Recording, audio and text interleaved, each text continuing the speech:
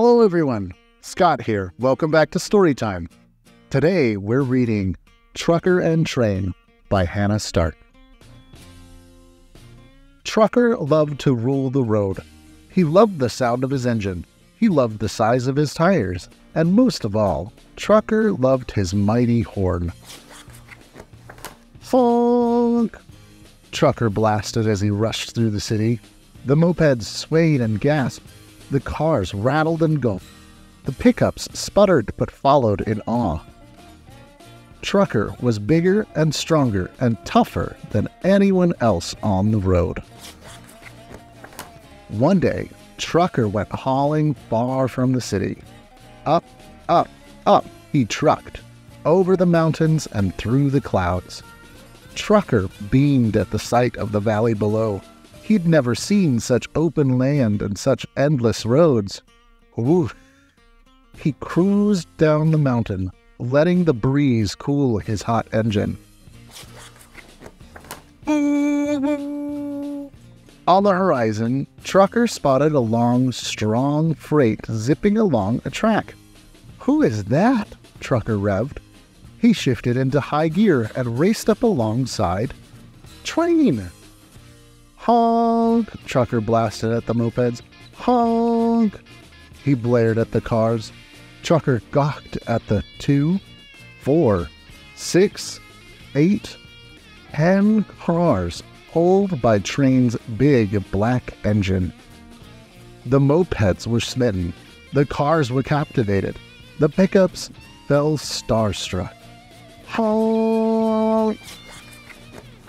But Trucker's tough horn was nothing next to Train's engine and whistle. Trucker fumed. His hubcaps blurred.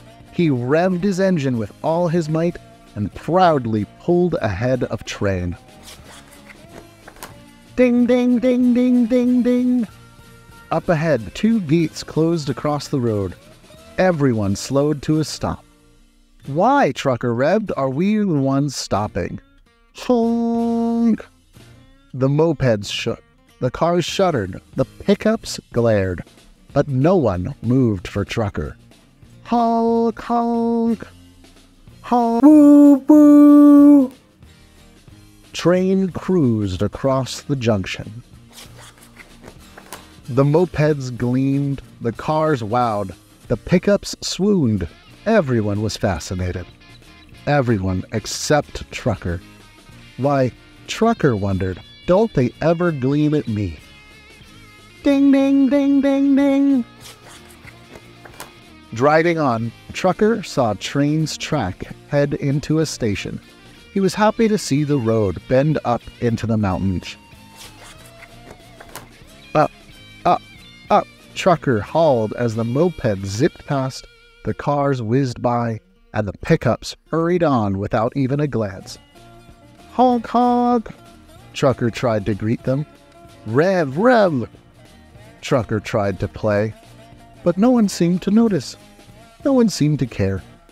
And Trucker suddenly felt smaller than he ever had before.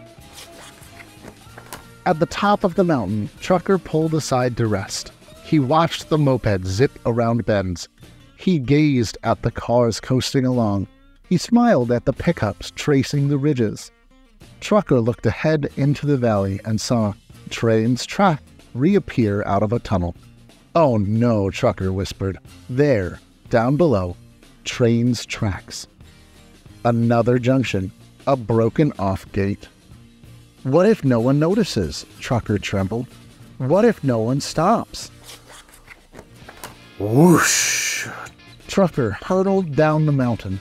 The moped swerved, the cars pulled aside, the pickups braked very, very hard.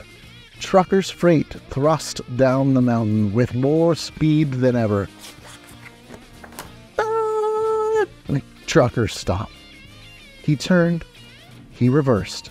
He turned, he reversed. He had to block the road. Beep beep, squeaked the mopeds. Toot toot, piped the cars. Hog hog blared the pickups. One by one, they came to a stop and stared Trucker down. Trucker didn't like the beeps, or the toots, or the honks. He wished the horns would stop. He wished this time that train could chug faster. Woo woo! Everything rattled. Trucker counted to himself. Two, four, six, eight, ten.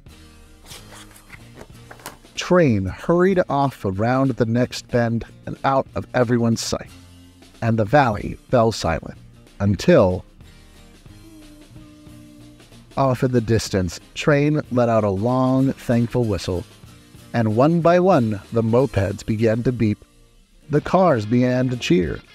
The pickups began to shimmy.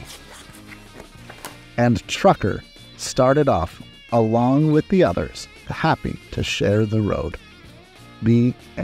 Thank you so much for joining us today. Now let's pop on over to Roni for an amazing craft. Hi, everyone.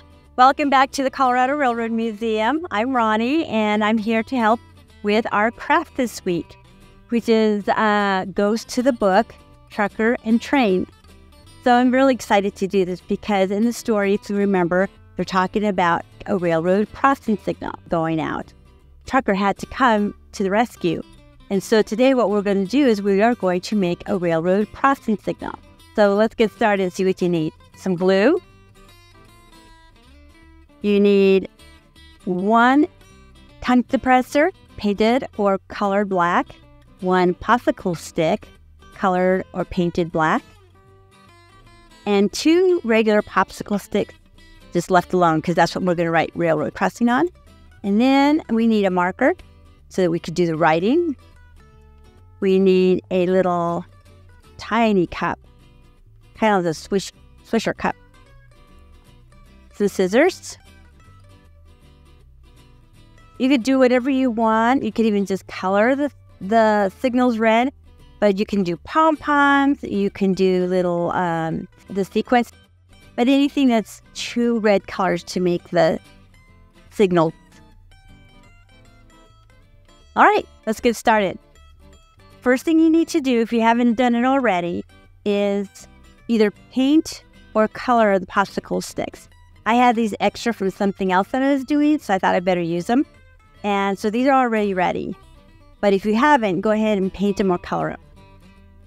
So when you get this all dry and everything, what you're going to do is you're going to you're going to make sure that you know where to put the popsicle stick. So you know they're right here. And now you're going to write on them. So put aside the big tongue depressor, and on one of them you're going to write railroad crossing but you're going to leave a little space between it. So put them all in capital letters.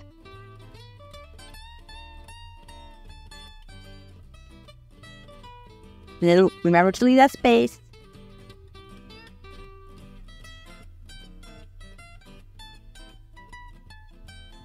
So you have railroad.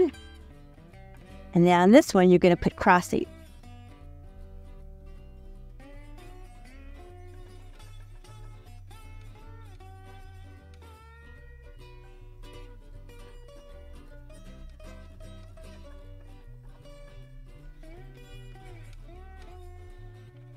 Now, to make sure you got it right, I would go ahead and put that right there. I think that's going to work. Okay, put those aside for a second. And then you're going to get also back your tongue depressor that's been painted or colored black. And you're going to get the popsicle stick and you're going to glue it right here. Now we have a chance to do some drying before you do the rest of it. So, glue. I always tell my kids or family or whatever to make sure you count a little bit, make sure it's going to stay. If you can see the white, that's okay. It's going to dry and be clear anyway. There you go. Then you're going to get your railroad crossing. Railroad goes on first. I would use a lot of glue to make sure it stays really good. Like I said, it's going to dry clear. Put some more glue on top of that. and you're going to have crossing right across. Now I just kind of leave it there for a while. Okay. Maybe even hold down to it for a little. All right. Now for the fun part. You're going to get those sequins or uh, pom-poms or whatever little colors you want. Make sure they're red for the signals and glue those on. So we put a little bit of glue on each end. And I'm using the, the sequins because they kind of glitter in the sun or wherever you are. Put it right there. Aha. And then put. And I would really suggest just leaving it here on top of your table for a little while until it's really dry, and then you can um, put it inside the cup. So while this is drying, I am going to put it aside and get my cup ready. And all you're going to do is make a little hole. You're going to need a big one like that because when you push in the tongue depressor, it's going to make it bigger, it fit better.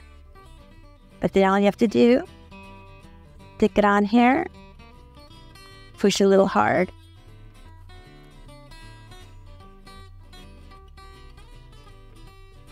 And now you have your railroad crossing signal. I hope you enjoyed your our craft today. I know I did, and I love coming up with different ideas for you. So if you have any suggestions, let me know. But in the meantime, I look forward to seeing you next time. Thanks a lot. Bye.